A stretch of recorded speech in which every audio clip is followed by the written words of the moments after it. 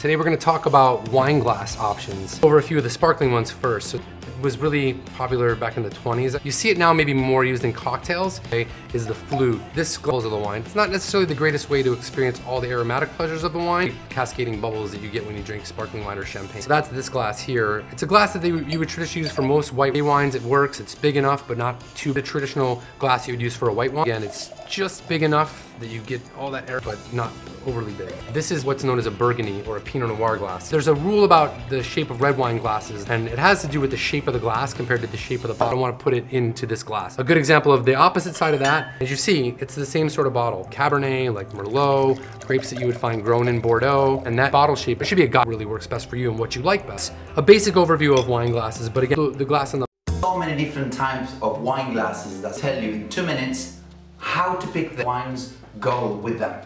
The foot, the rim.